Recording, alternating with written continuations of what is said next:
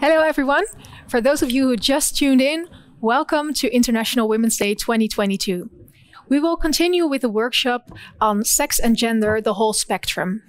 Dr. Mariam Koufoussi, Kavousi, Dr. Janine Roeters van Lennep, and Professor Dr. Antoinette Maassen van den Brink will explore different opportunities to establish gender equality in patient research and healthcare. So, welcome. Well, thank you very much. thank you very much. Uh, good morning, everybody, and welcome to our uh, workshop on sex and gender, the whole spectrum. The aim of this workshop is to provide you with foundational knowledge and awareness related to implementation and assessment of sex and gender in biomedical research that covers the whole spectrum. So if I can have my slides, that would be great. Here. Yeah. Just push the button for black. If you would just use the arrow keys. Yes, yes. that's great. So uh, we hope that after this workshop, you'll be able to recognize the nomenclature used in sex and gender analysis. You will be able to assess um, and uh, think carefully about how to include sex and gender and implement it in your research and practice. And you'll, you'll be able to critically appraise your own research and the others about the integration of sex and gender in research and practice. So, uh, a couple of words on the nomenclature. Um, sex and gender are often used interchangeably, but there are differences between the two. Sex is a set of biological attributes in humans and animals and is primarily associated with physical and physiological features, including um, chromosomes, sex chromosomes. Uh, think about hormonal expressions, hormonal levels, and think about uh, sexual and reproductive anatomy. Sex is often categorized in the two categories of male and female. But what we need to um, appreciate is that there is a large variation in the uh, continuum uh, of um, what attributes to sex, so the biological variation, and also the way it's expressed. Gender is composed of uh, categories related to socially constructed roles, behaviors, expressions, and identifiers of uh, women, uh, girls, men, boys, and gender diverse people. It um, affects the way we perceive ourselves and the others, and it defines the ways we act and interact in the society. It also defines the distribution of power and resources in the society. Gender is also categorized mostly in two categories of mm, women or girls and men or boys. But we again need to realize that there is also diversity in the attributes of gender, how they're expressed. And we need to realize that also there is a huge difference in the way people perceive themselves and the others. Um, the word gender was uh, introduced in late 1960s to reject the pure social, uh, let's say the pure biological determinism, uh, and uh, to introduce a new knowledge about the social cultural aspects of that affect our health and uh, affect, let's say, our behaviors and attitudes and in, against the pure biological, let's say, concept of sex gendered behaviors and attitudes are learned. They are neither fixed nor universal. And uh, interestingly, they can also uh, affect our biology. Um, again, we need to realize that the binary categorization of gender is something that will reinforce the stereotypes about men, women, uh, boys, and girls, and it will ignore the, um, let's say, the category of people, the gender diverse people that fall outside these binary boundaries of gender. We also need to realize that any given individual at every given time point may experience various configurations of gender norms, traits, and relations. So, um, when it comes to biomedical sciences, we need to realize that both sex and gender are determinants of health. Um, sex is a set of biological attributes, as we mentioned.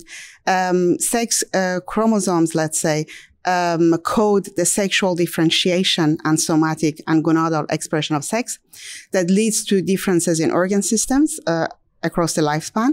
It also leads to differences in anatomy and physiology and the way our organs and systems work and interact with the environment. Uh, when it comes to a sex informed perspective, we also need to realize that um, there are certain, uh, let's say, reprodu- um, phases in human life, uh, in human's life, uh, that uh, needs further attention. Uh, they, these are the, for example, um, reproductive events, uh, reproductive lifespan of men and women, different paces and timing of puberty, or menarche, menopause, and all the reproductive events that matters in humans' lifespan. We also need to realize that sex can interact with pharmacokinetics and pharmacodynamics of medications. Gender is also a determinant of health. It um, affects the physical and social environments to which the individuals are exposed. It affects our um, access to resources that are relevant for our health and our agency to seek healthcare and also receive management and treatment. So a sex and gender informed perspective is necessary in biomedical sciences. It increases the robustness of our studies. It expands the relevance of our studies, leads to valid inferences about our studies and increases the reprodu- reproducibility of our studies in other settings. And having a sex and uh, gender informed perspective also looking at differences and similarities between sexes and between genders promotes novel discoveries in medicine. It also improves down the road. All of these will lead to improvements in prevention and patient care. In line with this sex and gender informed perspective, a sex and gender based analysis is required that systematically examines sex based, so biological differences, and gender based aspects, so the cultural social aspects, the similarities and differences. Uh, and the aim of this sex and gender based analysis is to promote robust science and expand our understanding of health determinants for all people. This workshop covers the whole spectrum in biomedical sciences. We start with basic research that will be touched upon by uh, uh, Professor Antoinette Maassen van den Brink. I'll come back with some concepts on epidemiology and methodology in considering sex and gender in research. And Dr. Shannon Roeters van Lennep will continue with the clinical care at the end of this lecture. Now, the floor is yours, Antoinette. Thank you very much, Mariam. Yes, I will continue with uh, some questions about basic science and animal studies, because uh, if I may have the next slide, Mariam. Um, Shall I do the slides? Yeah. A question uh, that uh, may come up is okay, we have to look in patients at, at gender and sex, but what in animal models? And uh, should we now dogmatically perform all animal experiments, both in male and female animals, or should we accept a study that was exclusively performed just in male rats and mice? What are the advantages and disadvantages? Of course, it would be both ethically and financially undesirable to just double the amount of all animal experiments and perform the same series in studies of male and female rats. And uh, are there arguments? Um, I see in the chat that uh, someone doesn't see the slide, but that's more for the technical people, I think. Uh, and are there arguments uh, why um, uh, people should? Is it people say that they don't see the slide in the chat? Can the slides be okay? It's uh, being handled. Um, it, it, it would be better uh, to double all uh, animal experiments. So uh, yeah, there should be reasons. And I think that's what we want to achieve in the field. And that's what we want uh, to get into this workshop, that at least you know why you make a certain choice. And of course, if you are interested in the effect of menstrual cycle on a certain physiological process, you will study this in female mice. And maybe if you are interested in a very basic mechanism concerning the role of a specific ion channel, you may choose for male animals only because you don't have the variation of the menstrual cycle. But if I may have the next slide, yeah, is it true that variability in male animals uh, is smaller than that in female animals or not? Because that's the paradigm that we had for a long time that the female animals do have an estrous cycle, the male animals don't have. So maybe if you want less variability, that's a reason to take male animals. But if I may have uh, the next slide, yeah, there are different mechanisms going on. In female animals, there's a big inter intra animal variability. That is true because they have their estrous cycle. But if you look at male animals, there's quite some inter animal variability because if they are housed together, which is often the case, there will be more dominant animals and subordinate animals, which have quite different testosterone levels. So there's not a good or a bad choice, but it's very important to know what's going on and why you make this choice for a certain sex of animal. And if I may have the next, in fact, the same uh, mechanism even applies to uh, cell experiments.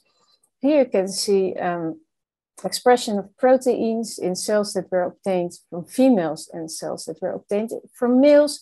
And without getting into details, you can see that these expression patterns really differ. So it's always important to realize did I take my cells from a male or female individual? And we can complicate the situation even more, if we may have the next uh, one. Uh, because if you're working with animals, and who knows with cells, but for animals, it has been proven they react differently to either female or male caretakers. We know you shouldn't be wearing perfume when handling these animals, but just the sex of the person taking care of the animals can influence your outcome. And of course, it's a bit scary when thinking about translational value of all our basic research. So probably we hope that uh, the most findings we have are so robust that they are not totally uh, influenced by these mechanisms. But it's important to realize and to know what can be going on. And now I would like to give you an example of um, a more pragmatic study uh, I'm doing migraine research, and uh, a question we had is whether the golden standard for the acute treatment of migraine triptans, whether the efficacy differs between male and female patients. And there has been uh, a lot of literature on migraine. It's a very prevalent disease affecting about 15% of the population. And the World Health Organization qualifies it as second most disabling disease and even as first most disabling disease in patients, uh, in people under 50 years of age. So it has a huge uh, societal impact. And also the economical impact is enormous, about 30 billion euros per year. And a lot of publications have been performed on uh, the triptans, which are the most widely used drugs. And we were looking into literature. And the most shocking finding was that there were hardly any papers reporting separately for males and females, although it's a very simple question to ask.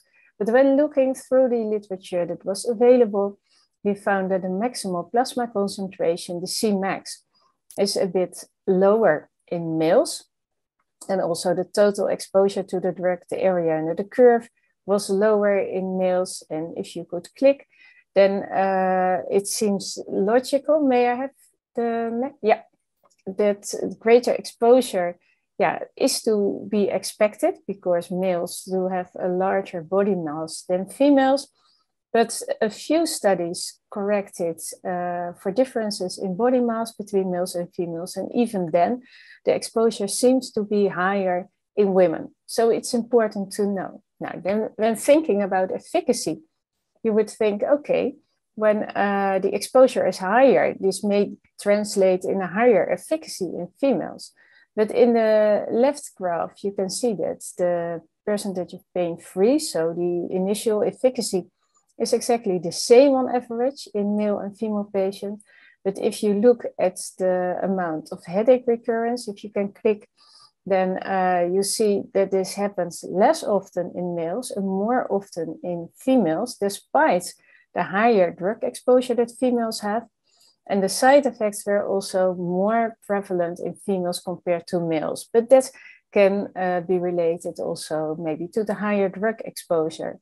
So in conclusion, uh, yeah, the effects uh, the exposure is higher in females, but it does not translate in a better efficacy. Efficacy is also a bit less in women. Yeah, I can have the next one. And uh, if we look at migraine and the prevalence in uh, women and men over age, yeah, migraine is clearly much more prevalent in women. And this difference starts after the menarche and declines after menopause.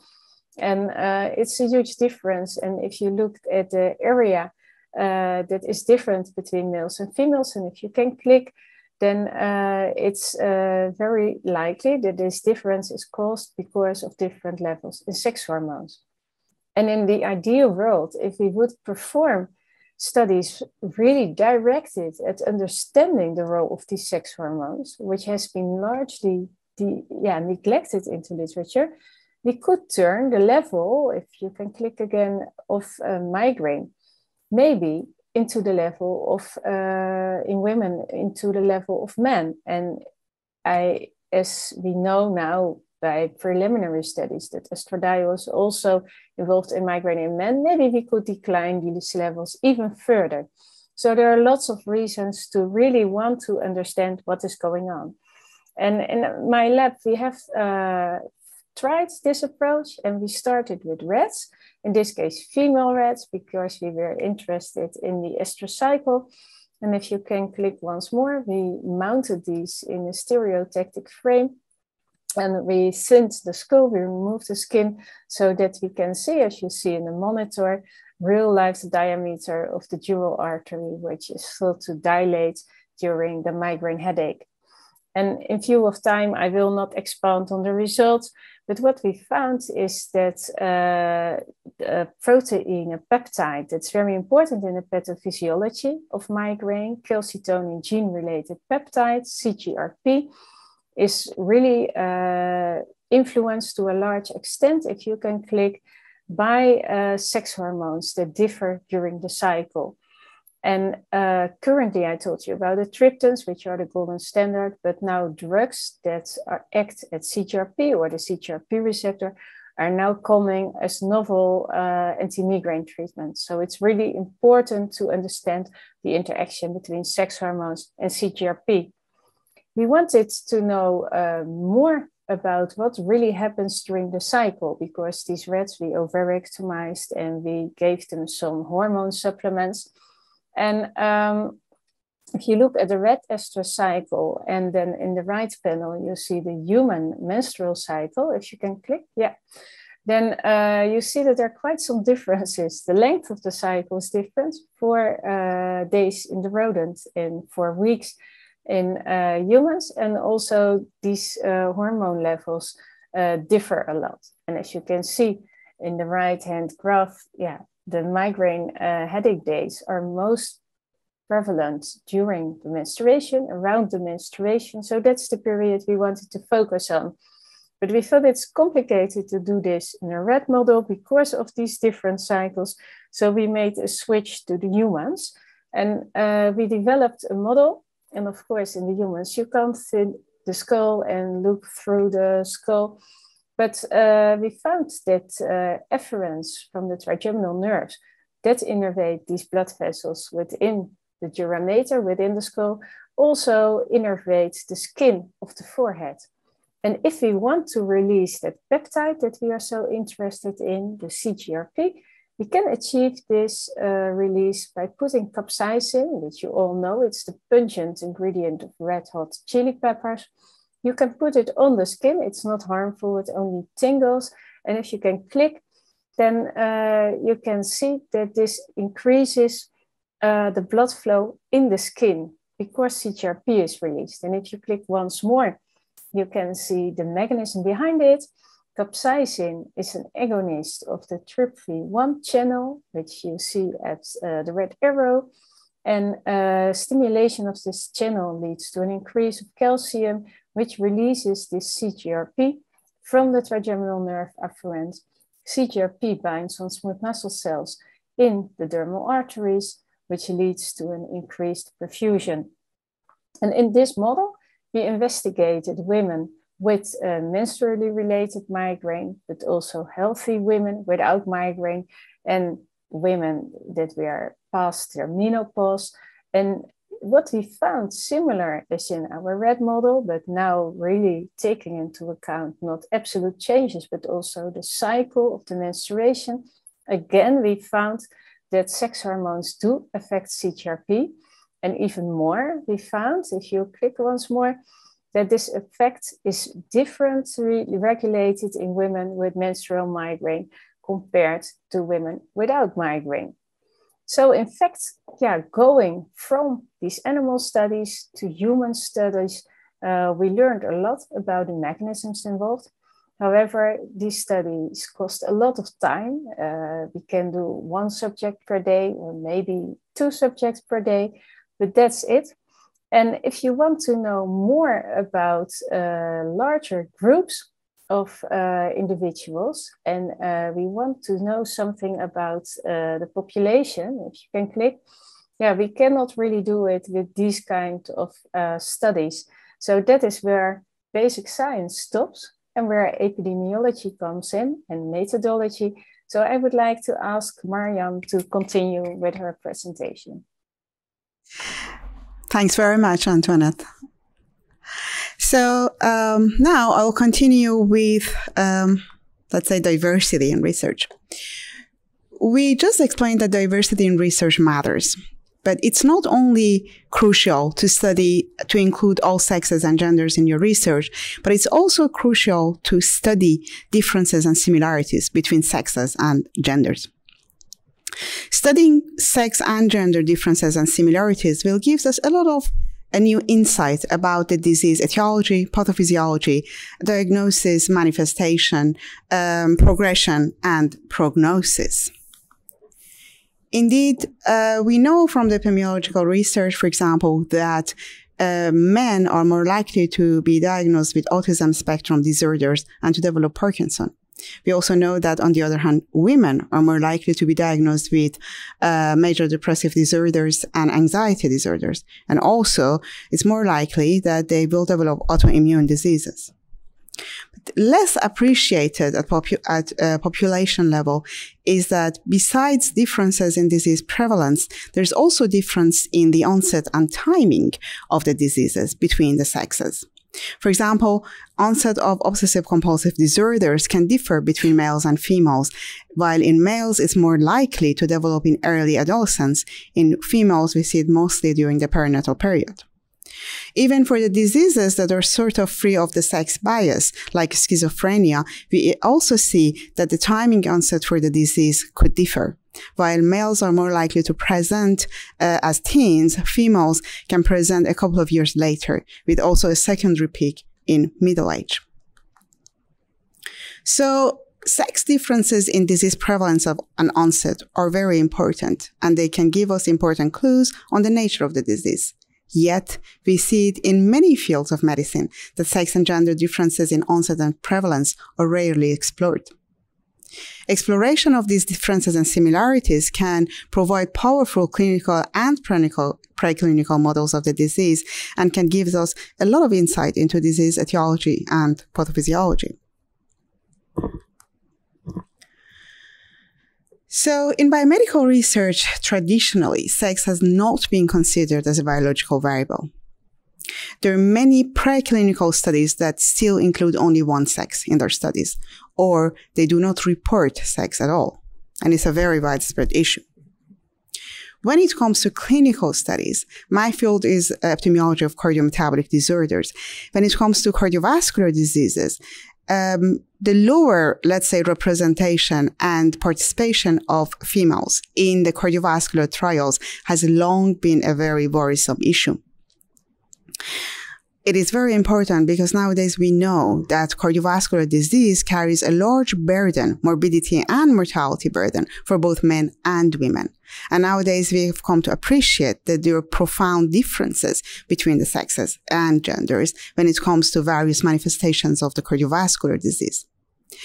This slide shows the um, critical um, periods in participation of women in cardiovascular trials.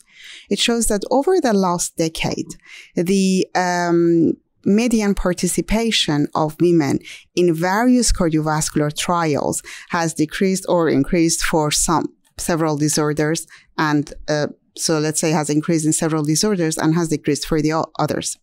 So compared to the prevalence of that specific cardiovascular disease in women, women's participation in trials differs per cardiovascular disease. Um, it has been and has remained high for diseases like hypertension or pulmonary hypertension and has been low for diseases like coronary heart disease uh, that is considered a man's disease or heart failure, for example. We also see that over the last decade, participation of women in several of the domains, including stroke and heart failure, for example, has increased. And these are all uh, mostly the diseases that happen later in life, so mostly older age women. And the overall participation of women in the trials related to cardiovascular disease still uh, remains low, with the highest percentage being about 38%. So still men dominate the uh, cardiovascular trials. Also, if you look at the studies that uh, claim um, that they have found sex or gender differences, you do see a lot of methodological issues.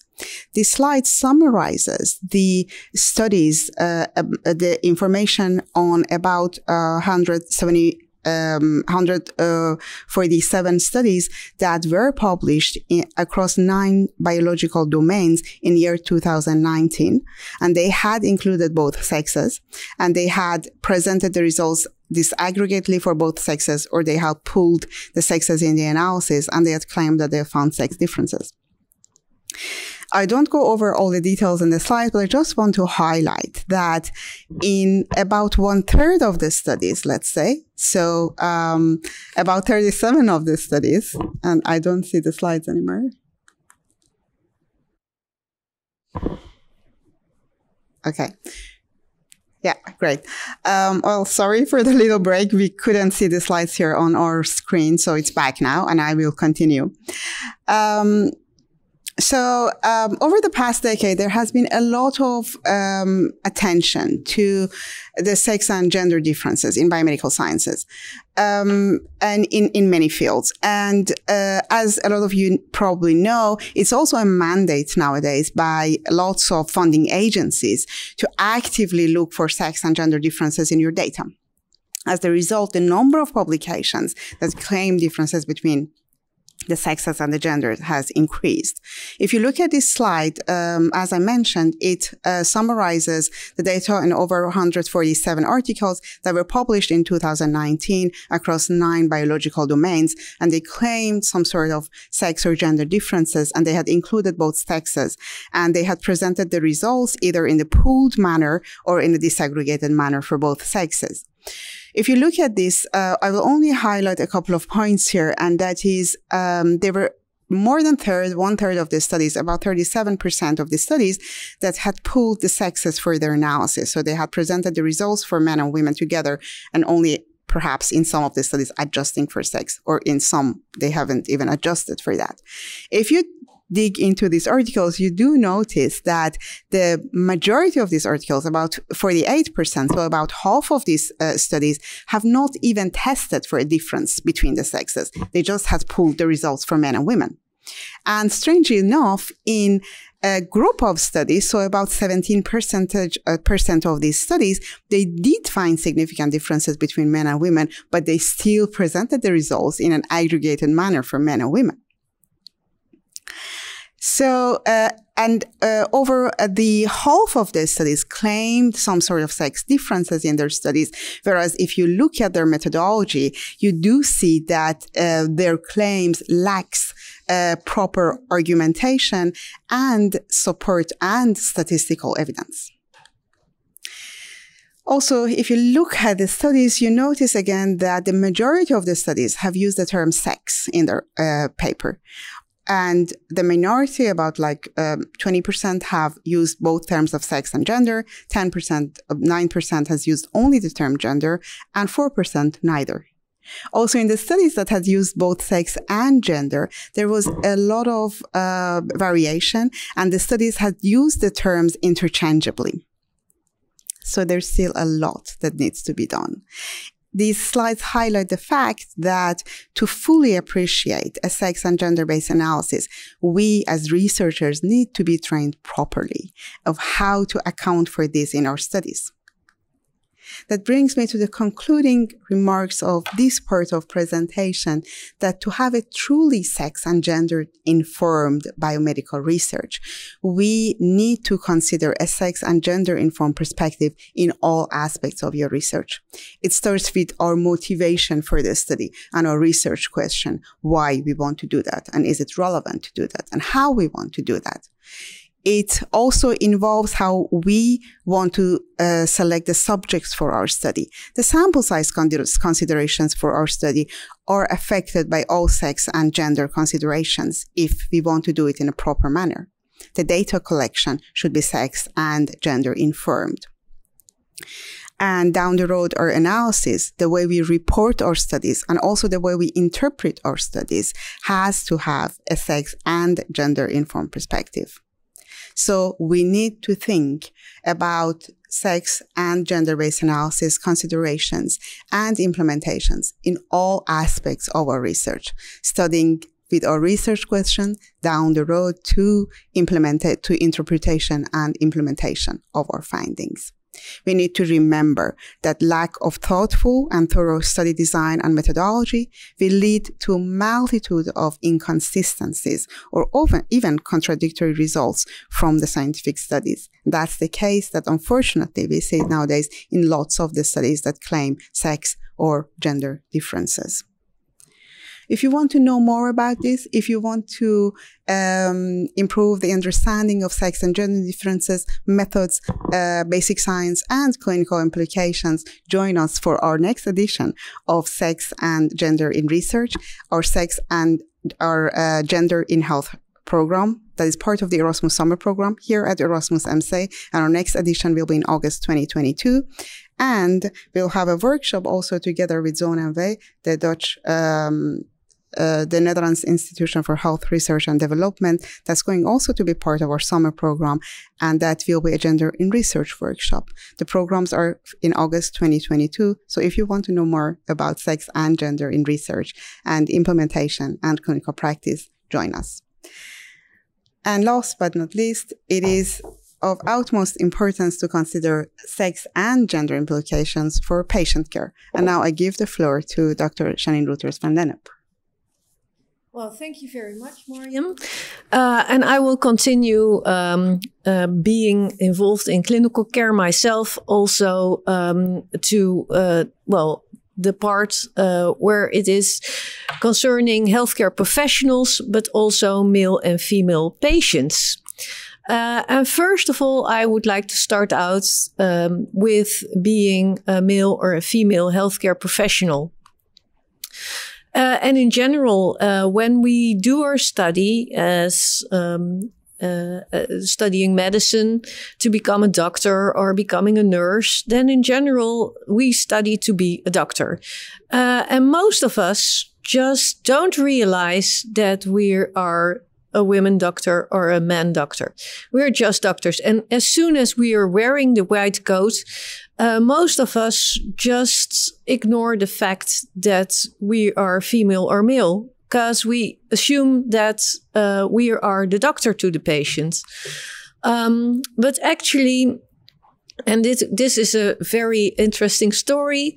Uh, I was approached by a journalist uh, who wanted to do a study about does it matter to the patient if you are uh, a male or a female doctor? Uh, and she was working for Libelle, that's a female magazine. Um, and I said, that's a very interesting question, um, uh, but I don't know the answer. You should ask the patients. So uh, there was a survey out uh, from uh, issued by the Libelle in, in collaboration with the National Patient Organization of the Netherlands asking if you go to your GP, does it matter if you are uh, going to see a female or a, a male uh, GP? Uh, and what do you expect of a male or a female GP? Well, it was I think that the results were so interesting. So um, then it appeared in the Libelle, but of course, most GPs don't read the Libelle. So I said, well, maybe we should also, uh, uh, most of the articles start in the uh, medical journals and then they go to the lay journals. But this was a case of the other way around. So I said, well, these data are so interesting. Let's make it into uh, a paper um, and target to the GP audience or just like well, in general, the the uh, physician, the medical audience. So uh, it became a paper in the NTVG um, it were about 7,000 uh, uh, patients going to the GP who frequently uh, uh, uh, went to the GP. Half of them were male, half of them were female. And we were just asking, like, what qualities do you think that fit to a female or a male GP? Uh, and interestingly enough, uh, um, swift referral and being knowledgeable, that they uh, thought it was uh, both uh, the gray. Oh, yeah, I should explain this slide, of course. gray meant that they said that it was equal. That it doesn't matter if it was more to a female or a male GP. Blue is that they attributed this. Um, characteristic more to a male GP and red is to a female GP. So most of the characteristics it was equal, but there were some characteristics that they said that they fit more to a female GP and other to a male GP. Uh, and um, interesting is like being able to relate to a patient or personal approach uh, in general.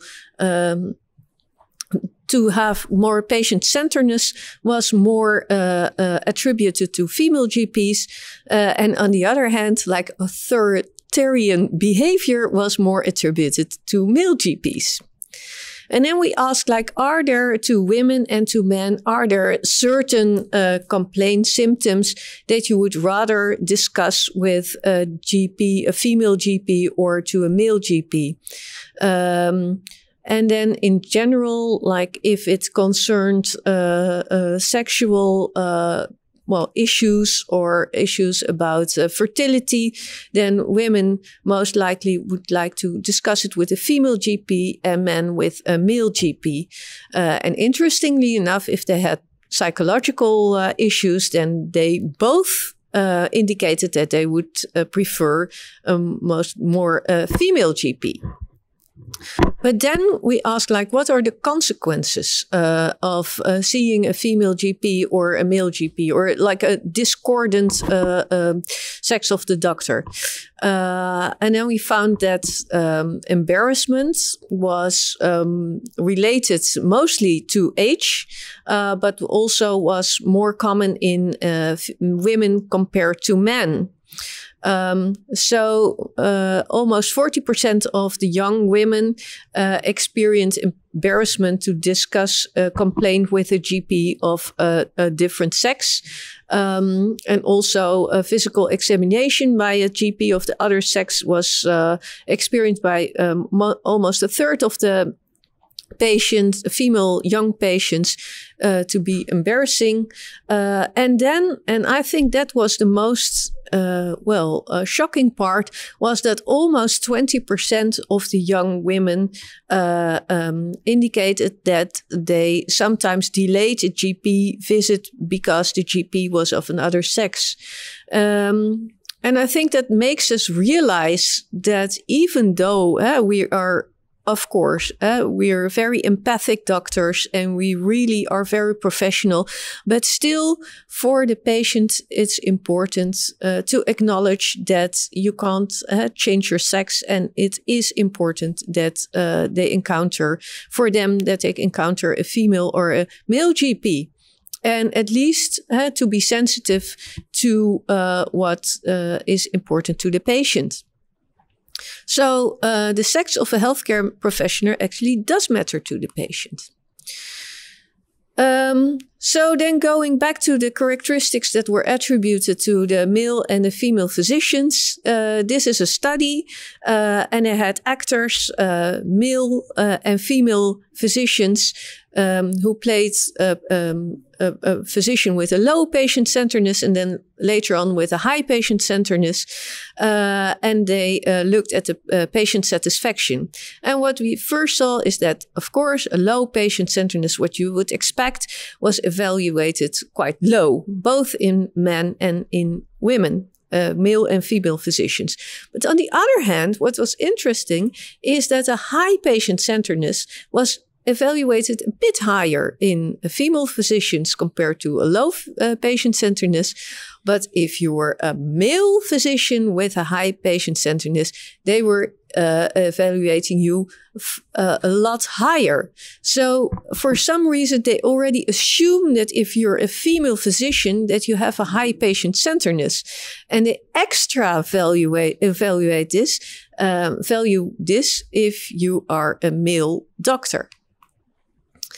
So I say, well, sometimes female doctors don't get the credits they deserve.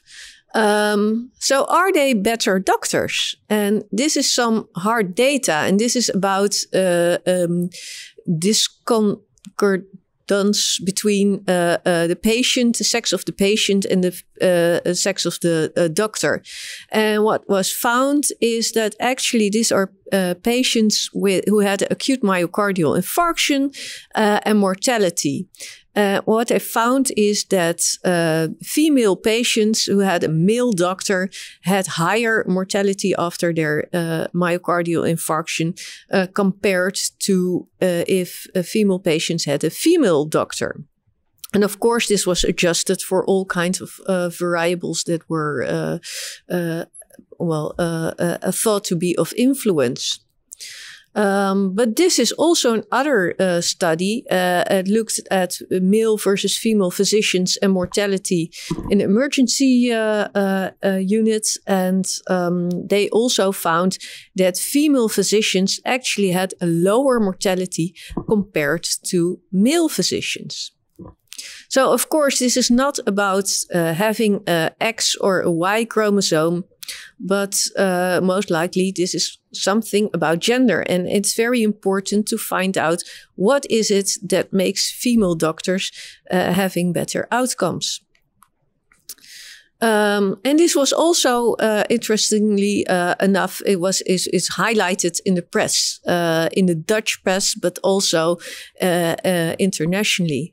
So you would think that if uh, female physicians um, have well have a high em empathy and have a high patient centeredness, then maybe they would also earn more, and they have lower mortality. Um, this was the uh, recent uh, Medscape compensation report. This was from 2019. And here you saw that even though uh, there are at least as good doctors as male doctors, um, they still, there is a, quite a large pay gap of and this pay gap is is uh, is not even reducing uh, uh, is is diminishing uh, even in the in the last years. So there's still a lot to be done. Well then going very briefly from the uh, healthcare professionals to the patients um, um, during the uh, discussions of the presentation of uh, both Antoinette and, and Mariam, we already found some uh, differences between uh, male and female patients. Uh, I just highlight some some things that were not discussed yet. That's about symptoms, about treatment, and about side effects. Uh, um, there uh, I mean, we could go on this is just like an hour but well join our course and you will know much more. I think that the most well-known uh, difference between symptoms is uh, in a heart attack but even there we don't know everything. We know that women uh, and can uh, have much more diverse uh, diversity in their symptoms if they have a heart attack, um, but uh, that uh, causes delay by the uh, women themselves before they seek medical help, but also for the doctors.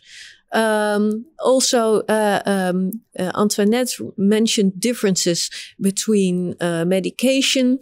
it has many different reasons why uh, women process their drugs differently than men. Uh, uh, of course, uh, there's the, the, the body weight that is in generally women uh, have a lower body weight. So, um, but on the other hand, there are all, also other differences. Uh, women have smaller kidneys that can affect um, how drugs are removed, but also uh, the liver is important because the hormones can affect uh, the metabolization of drugs, and also that uh, the body fat distribution is different in women and men, and also the uh, electrophysiology is different. So also, uh, this has been uh, there's a was a study that found that in heart failure medication, the optimal dose in women is actually lowered compared to men, um, and they're now doing studies to see if uh, women should have lower doses of these drugs in heart failure compared to men, so that it actually has consequences because currently, um, uh, for most uh, conditions, it's not the case that we give different dosages to men versus women. And then about side effects, um, uh, Antoinette already reported that uh, women report more side effects than men, but also the impact of side effects can be different. Uh, for example, uh, if you have chemotherapy, then baldness is a common side effect, but also that has more impact uh, for women compared to men. Uh, there are a lot of bald men and nobody pays attention to them. But for women, a bald woman is, is still really, it's much more an issue in our society. But also, if you, uh, for example, look at scars, and these are some famous people who have scars, uh, and for the men, it just makes them look more interesting. But if you, ex- for example, have a female uh, act, uh, actress, um, then uh, most of the times they don't want to have uh, their photograph taken with their scar on them, so they hide it. So also there in our society, uh, scars are are impact have a different impact, and that is really like a gender issue. So um, I think that at the end of the workshop, what we would uh, have as a take-home message is that sex and gender is important for all aspects of uh, research and healthcare. And whatever you do, if you work in epidemiology, if you do clinical research, translational, or basic research. So it is, I think, truly it covers the title, the whole spectrum. Thank you. So thank you very much for the the wonderful and very interesting workshop. Um, and uh, it's quite a take home message indeed, because I can imagine that uh, that there are huge differences between genders or uh, sexes, but uh, your examples uh, really demonstrated that these uh, differences are quite large and that that they need to be solved eventually. Um, so there are no questions in the chat yet. Uh, I do have a question, however, uh, because I think the number one question is uh, how can we tackle these differences? Because uh, you also mentioned that having more experiences um, was more uh, relatable to male physicians. And uh, that really struck me, you know. I was really wondering how is this possible? Because this is also partly societal. So yeah, how can we how can we try to tackle this? Oh, yeah, well, thank you, Alice. This is a very interesting question. And actually, when we published this NTVG uh, paper and it was online, there was a, a, reaction from um, a male GP who was really, well, almost angry that uh, we we mentioned this that there were uh, women also who um, uh, said that they were embarrassed to go to a male GP. And um, I think because he said, well, I mean, I'm trained, I'm a professional. So why is, why should they not go to, uh, to a male GP? What's the difference? I think that, uh, acknowledge that there are differences is, is the start. And then also really taking a look like what is actually different what what female doctors do compared to to male doctors. And we know they have more patient centeredness, and maybe that's that's very important in the end uh, for the outcomes. And that of course, it's it's not exclusively for women because also there are very uh, good male physicians, um, and maybe uh, we should take a look. Like not like it's not about X and Y chromosomes, but it's like how can we train uh, our medical uh, students that uh, this difference will disappear and that both uh, male and, and female physicians are optimal doctors and that this difference disappears again. Yeah, thank you. and I'm also curious, uh, Mariam and Antoinette, uh, what are your views on this topic?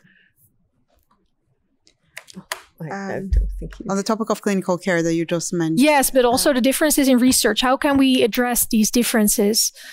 How how do you think it is possible in your field to address these these differences in, in gender and sex? Yeah, I think as, as Shani mentioned, the first step is just to acknowledge that there are differences. And the second is um, like um, really try to understand what can uh, be relevant, what can cause the differences. What is actually the difference that we're talking about? Because you see a lot of research that at the end of the day, you just think, okay, so what was the research question again? What did they want to address? But so I think down the road, it all comes back to understand the topic, understand what you want to do, define your research question right. I have to say it all comes back to that. And then try to implement it, as I said, in all aspects of your research. Uh, uh, try to define these differences and similarities and measure them appropriately and take them into account appropriately. Uh, we all think that once we're doing research that, oh, it doesn't matter. I'll just adjust for it at the end. But that's not the way. You just cannot get rid of these differences in sex or gender or whatever it is by just adjusting for them. Lots of the times you haven't even gathered information in appropriately in the first place to then try to adjust for it. So um, think about it beforehand and think, uh, you know, like in all aspects of your research and just try, please, not to get rid of it by just adjusting for it. Um, try to get more insight into it uh, examine it. Uh, what can be the cause of these different? What are these these similarities and differences? Do they make sense to me based on my knowledge of biology or social, you know, like social cultural science that I have about the topic? And if so, then are these relevant to this topic that I'm studying? How can I test for it?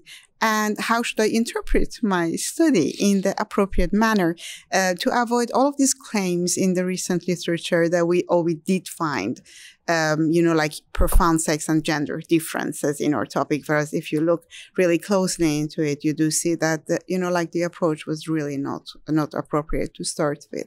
So yeah, acknowledge it and, and uh, try to think about it really actively in all aspects of your research. Thank you very much. Um, Antoinette, you also uh, already mentioned an example of how to tackle the, the inequalities between, uh, between sexes. Um, I was wondering, um, do you have any suggestions for researchers how to, how to tackle this topic?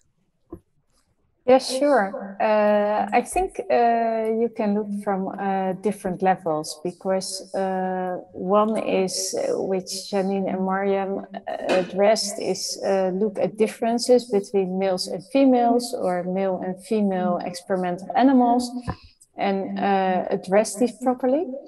And uh, another point I think is, uh, and therefore I gave uh, the example of migraine, is that you have to think, uh, yeah, are there certain factors that are specific for either males or females that may affect the pathophysiology of the disease that you are uh, studying? And in the case of migraine, I think, uh, yeah, it's a very clear example uh, looking at the prevalence in males and females and the relation with menstrual cycle, pregnancy, that female sex hormones, yeah, play a very, very prominent role. And yeah, it's a bit lamentable that until recently, yeah, there was just one small study performed in the 1970s looking at the role of female sex hormones, and afterwards it was just not an issue. And I think um, we can blame all these scientists that uh, have been uh, working on the topic in the previous year, but we should also look uh, how do we educate our medical students? Because if you never uh, learned to think about this, then uh, it will not come in your system. And when I, with my view of uh, 2022, look back on literature, I think seeing so clearly a role for female sex hormones, how can it be and how on earth may it exist? That lots of targets were investigated, but not these sex hormones properly. So, yeah, I would like to express that I certainly agree with Mariam and uh, Janine. And in addition, we should look where do uh, these mechanisms play a role? And of course, not in every disease, but there are really lots of examples. Thank you for your clear explanation. Uh, meanwhile, there are some questions in the chat. Uh, I will read them. Um, the first one is Do you think that a part of the preference for a female GP can be explained by lack of knowledge surrounding menstruation or fertility topics? And if so, how could we tackle this? I think this question is maybe. Yeah, I think so. Yeah, but I, of course you can also relate on the topic as well. So, yeah, I think I see the most of the patients uh, from us three. So I will uh, uh, first give a go. Um, uh, giving uh, the the topic of menstruation that's really an example of a taboo uh, which still survives here in our society um, and I'm doing some uh, uh, also inspired by uh, Antoinette, who's doing research on the menstrual cycle and uh, and migraine. Uh, I do some research on a menstrual cycle and influence on uh, cardiac symptoms. Um, and now we have women who really acknowledge that they report that they have specific symptoms, especially palpitations, uh, heart rhythm disturbances uh, on specific moments of the menstrual cycle, and he reported it to their GP, and their GP says, "Well, it's it's nonsense." Um, and it's just a part of of of uh, having your menstruation, uh, PMS, etc. Um, and I think that that really talking about menstruation is is already a taboo. And um, uh, it was mentioned previously that if uh, a, man would have, it was a Norwegian film, and I really can recommend it. The worst person in the world, and there the main actress, uh, the lead actress says, "Well, if." Menstruation was something that uh, a man would have, then there would be like like millions of, of dollars uh, going to menstruation related research um, which is going now to prostate cancer, which is also, of course, a very uh, major problem. But uh, I do think that uh, in our um, medical studies, there should be more about also taboos. And it's also the other way around, because for a female doctor to ask about impotence, it's also something that, that you really, well, uh, sometimes just have to to realize that you actively have to ask for it because uh, many men will not especially if you're a, a, young female doctor will acknowledge that they have impotence complaints yes. Yes i oh sorry. Yeah mariam um, I, I, think part of it also may, maybe comes back to the fact that we always consider it to part, be part of the normal physiology and we never somehow think that it can be, you know, it's still normal physiological process, but it can be um, because of the fluctuation in hormonal levels, it can give rise to lots of complaints. you know of cardiometabolic disorders, migraine, or other diseases. So I think acknowledging also is, I mean, it's normal. It's a normal pathophysiology process, but it can be related to, you know, like your complaints or uh, it can be implicated in pathophysiology of certain diseases and, and probably also both educate patients and the, Definitely. So the general yeah. population and patients and also the professionals that the patients or general population to actively think about it because maybe you do have the complaints and you do have variation in the complaints during your menstrual cycle you know like but but you never think that it's related to that so also asking actively educating them that uh, okay no it's normal physiology but it can give give rise to your um, to variation in your symptoms, and then also well educating the um, professionals that uh, they do need to think about it, and they need also to actively ask questions about it. Yes, thank you very much. well, uh, I think that it's time to wrap up. Uh, we have a short lunch break and we will continue at uh, one o'clock with our next workshop given by uh, Professor Dr. Hanneke Takkenberg uh, on what works for women at work. So I would say um, grab a nice lunch and we hope to see you again at one o'clock. Thank you.